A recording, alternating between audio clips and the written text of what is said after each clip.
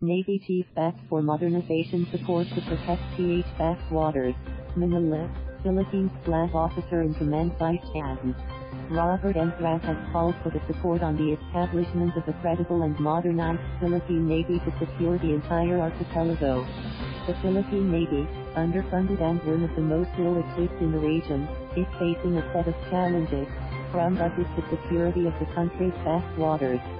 We are modernizing left square bracket our right square bracket Navy. If we can gather the entire Filipino people to support the modernization para maprotektahan natin ang to protect our territory. Remember, we are a maritime nation. We have so many islands, Empedrad told reporters in a press briefing on Wednesday. Hiningi ko yung support ng lahat ng mamamayang Filipino. Tulungan natin ang ating Navy I am asking for the support of our countrymen. Let's support our Navy to advance.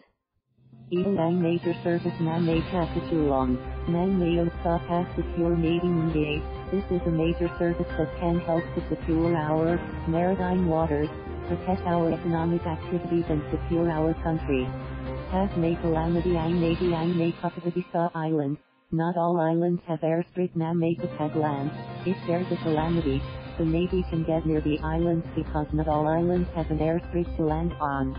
He added. The Philippines has one of the world's longest coastlines and the third most number of islands in the world. Sondian, Ulan sa Barco, we lack ships for now.